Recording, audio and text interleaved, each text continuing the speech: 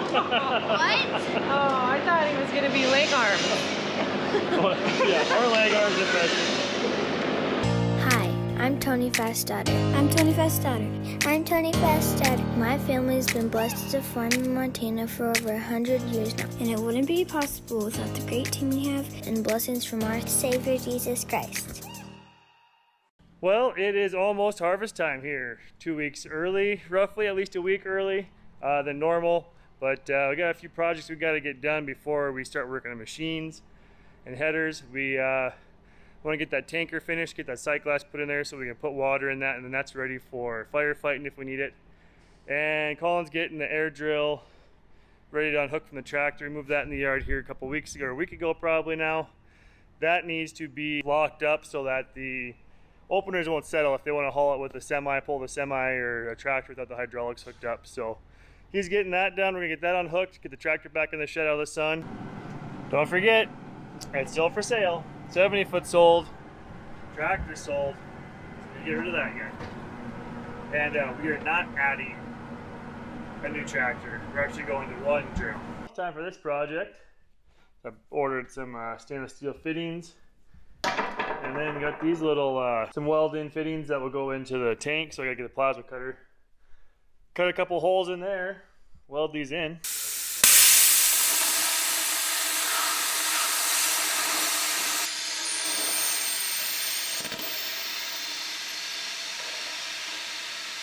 That's gonna be tricky.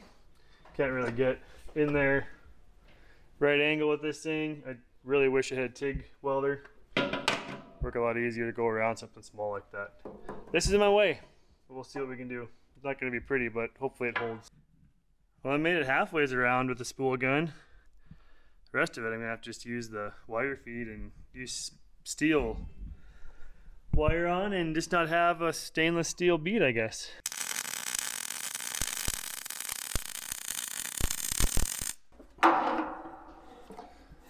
Pull too tight and twist that weld out. Wouldn't twist it. That's where I got the short wrench. Ready to go. Well, a couple uh, bent chain links on there to hold zip ties, hold all in zip tied in place. Yeah, spill water again. No. Yeah. It's funner to watch it come out of the manholes and the garden hose and everything else. You wouldn't think that's fun if it was fertilizer, though. No. that would not be good. Let's hope we have to top dress next year and we can put fertilizer in this.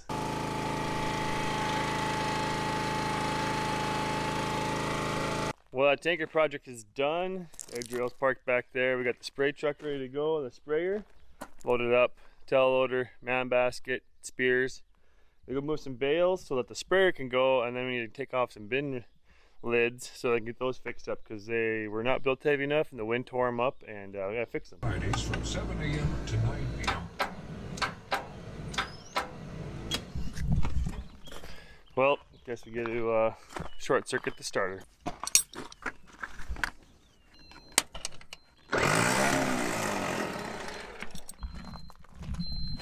Doesn't exactly sound like a smooth starter, does it?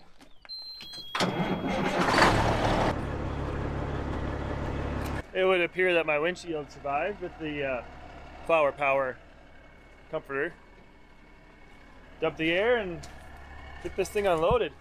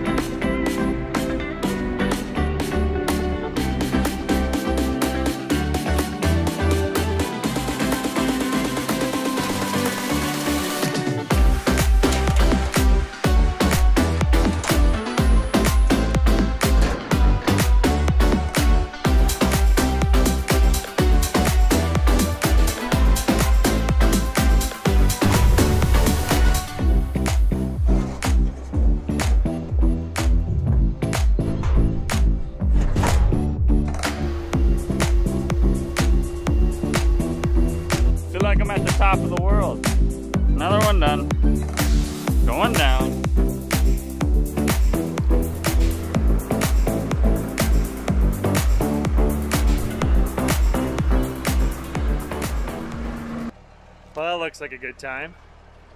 Headed uh, with Blunder to go load up a bale that I broke when I was picking bales. So we're gonna load it up, bring it back for the cows. Well, I'd say that's a full load of hay. I'm gonna be driving slow.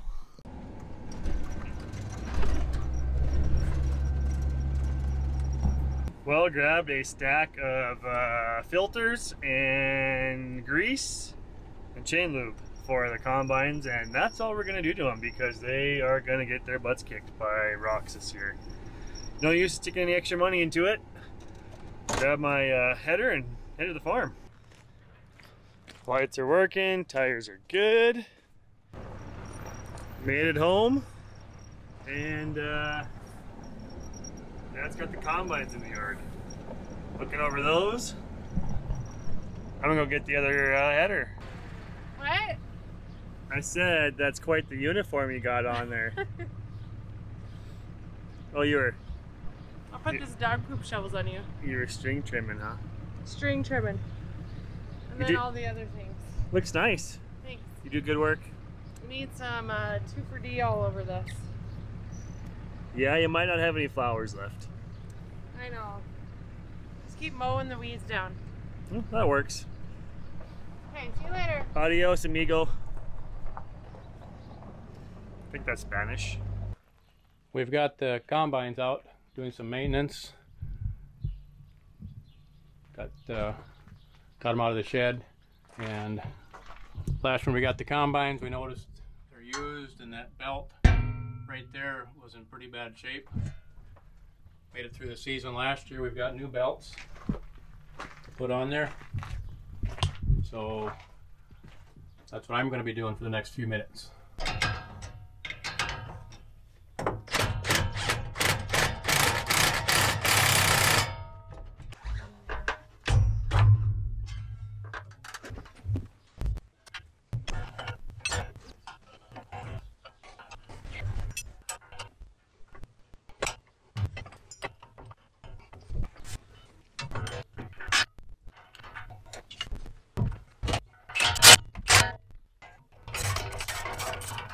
So the belt I just put on is this main, one of the main belts that runs the chopper. Is This is the tensioner on it. And they've got kind of a nice way to tension them. They got a spring and you tighten up the bolt until the washer lines up with the little tab and I tighten that one a little bit tighter because that belt will probably stretch just a little bit being a new belt. Well, I got this other header uh, out. The lights hooked up. Better check those. 'Cause I need brakes, just to make sure. There we go. Lights are on. There's my header. Amazing when this thing's been inside all winter. It's not all rusty like the one sitting in, the, in town all winter. Sheds do pay for themselves over time, that's for sure.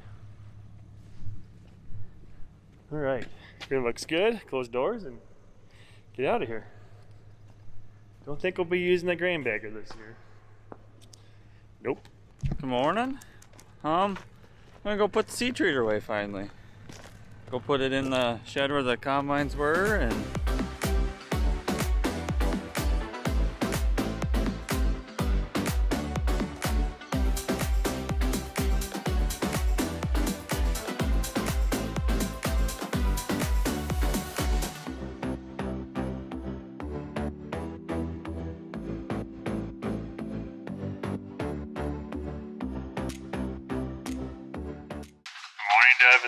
the morning. How ironic is that?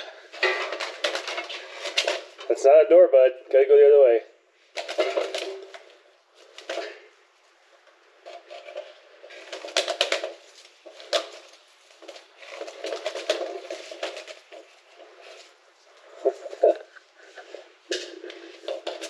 Gotta go in a different direction.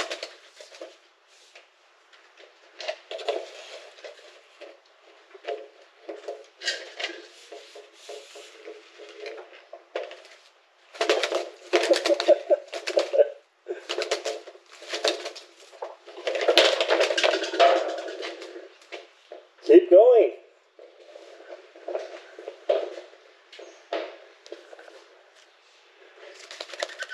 There you go. Well, it looks like combines are coming along pretty well. Dad just got done changing oil in his machine. Uh, put a new chopper belt on. We got pretty cracked up ones we tore off, so that's going to be uh, better. I'd hate to plug up the machine because the chopper belt stops turning. This chain needs changing too, so uh, load chain, not like we're going to use that a lot this year, but we'll get that changed. We'll get headers put on. I know dad's machine, or dad's header is going to need a couple uh, fingers put in replacing the center drum that were broke. We put the poly fingers in my header. So we've got the takeout ones, factory ones, we'll put in replacing dad's.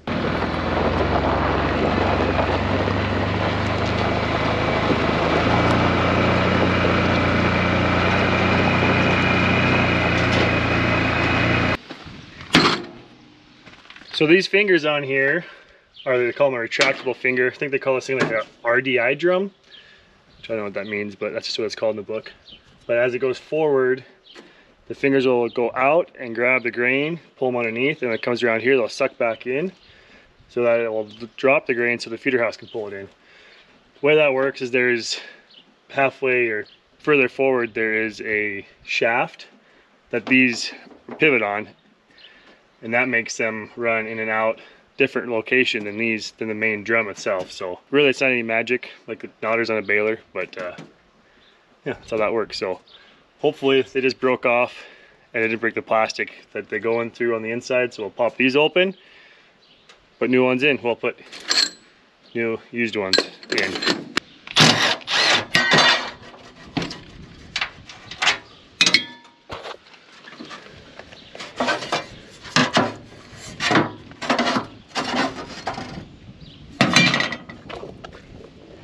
So there you go. You can see that shaft is further forward in there.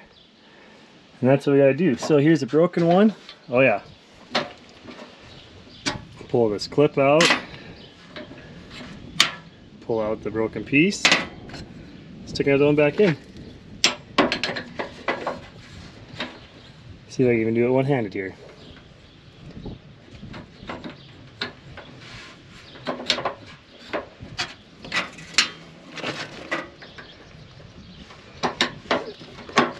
We go. Well, these are uh, why you want to run poly ones because this, from here on down, went through a combine. And the poly ones won't do damage like a steel one, so that's why I put those on the other header. We'll let up his combine with steel ones for now. Eric from May Wes is here, and uh, we're gonna do some installs on poly skid plates and the five fingers for the reel, and kind of show why we need those five fingers this year and probably why you need them too because you guys drove here from Minnesota and not really a great looking crop anywhere is there A lot of, a lot of short crop this year. Now you had mentioned that normally your stem's going to be about two and a half to three feet tall. yeah we're gonna cut like two feet off the ground two feet off can. the ground. Obviously this year with the short canola, you can see how low the pods are going to be on the, if we leave 10 inches of stubble or 8 inches of stubble that's going to be pushing it probably. going to be pushing it. So you're, you're going to be cutting quite a bit lower than what you normally do. And with that five finger, um, for example, especially with short crop, if you take your finger, you're not pulling much in across that cutter bar. yep with a five finger, it's basically going to grab that whole plant and ensure more of those pods get across that cutter bar. It's going to result in uh, more profit at the end of the year. yeah and we're not doing this for charity We're not doing this for charity. no. So, and it's rel relatively uh, uh, inexpensive to put the five fingers out for the reel with. yep Can, i mean compared to an air reel An air or reel. any, Right. any other options out there Right. so well should we go put them on Let's go put them on. So we got the fingers here, and we already put a few on, kind of trying to figure out our pattern and whatnot. But uh, there's some nice red gloves you got there. Oh, look. Yeah, they match your combine. That's the combine. Aren't A lot, sweet. lot better than that pair that other guy gave you. Other guy. Those green ones you got from that golfer, Zach Johnson. That guy. You mean that millennium, the millennium, uh, the Minneapolis Marine turned green guy? Yeah, there you go. That other guy. Yeah, that other guy. That guy. That guy. You did burn those green gloves, right? They burnt. They burnt. Yeah. We had fun over 4th of July with them. there you go.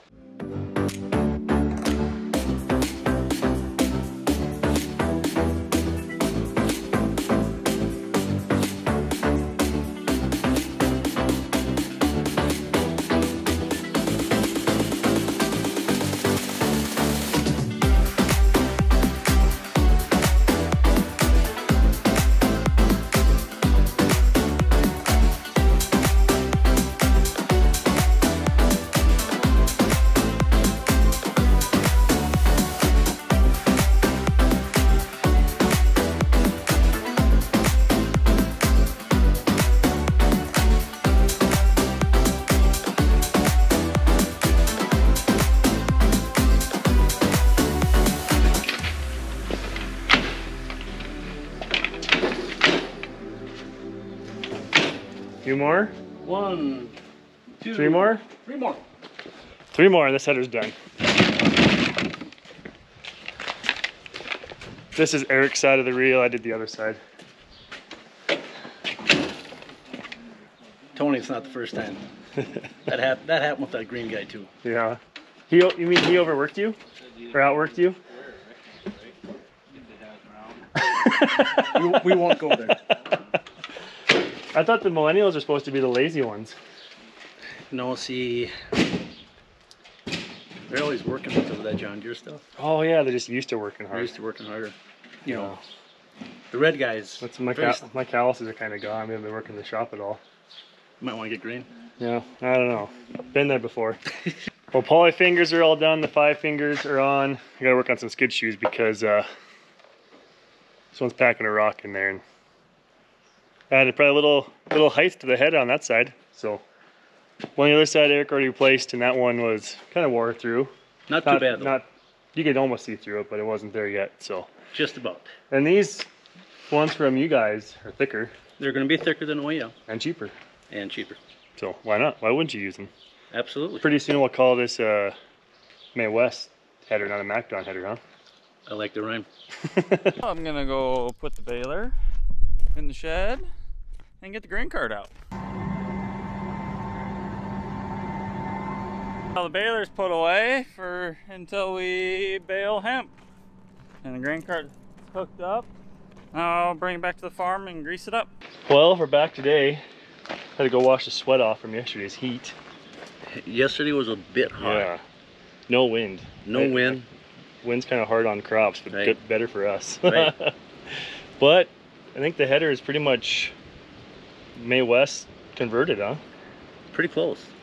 Pretty close. You have your new skid shoes, Yep. left and right skid shoe. You have your new center skids. It's all fitted with our five fingers. And last, our May Wes poly retractable fingers. And those are the ones we put on last winter. Should last a long time with all these thicker poly pieces and get more crop in the tank with the fingers on the reel. Five You're- fingers, so You're gonna get more, uh, put more crop in that grain tank with those five fingers, especially this year with the short crop. yeah. You know, and uh, you got to see some of the short and shorter crops in the area. yeah, it's, It's uh, gonna be a challenging harvest. it's so. gonna be very challenging harvest. So already since what we shared yesterday on Instagram, we've already got a few sales locally. So yes, and uh, that's that's the fun part about it. So yeah, hopefully you guys get in touch with these guys or your local dealers and get fingers and whatever you're gonna need for this harvest because it's pretty big area that's pretty short. Pretty big, uh, large area, What- big region. What's uh, inventory like right now? We have very good inventory on those. Get a hold of us. Check out your local May Wes dealer. Go to our website, maywes.com, or give us a call, 1 800 788 6483. Thanks again for coming out. Absolutely. Well, a little cooler in the shop than outside right now, so we're gonna work on fixing up these uh, grain bin lids. They're a remote one, you can pull on a cable from the ground to open. But what happened is the windstorm came, and these weren't built heavy enough, and they folded up and cracked them all out like, like those ones. There's the other tops over there in the vise. And uh, so we're getting that welded back up. We're gonna run a brace from up here down to the bottom down there, give it a lot more strength. So we'll get those cut out, bend them on the press to give them a little bit of an angle break on there to make them rigid and be in good shape.